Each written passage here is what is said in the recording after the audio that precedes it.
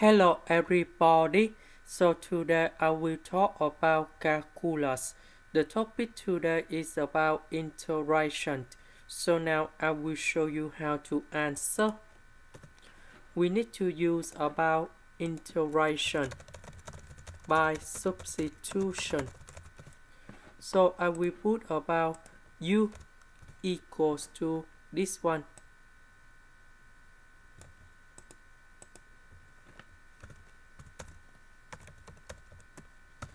So if we do first derivative for the both side, we have du.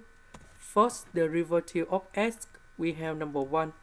First derivative of ln of secant of s, we will have we have secant of s in here. Later that we continue continue do first derivative of secant of s.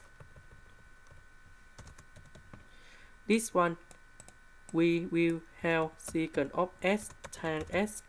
So secant of s divided by secant of s. So we have tan s. So this one we change for u. This one we change for du. The integration of this one we have ln of the absolute value of u and put about c. About u that's about this one.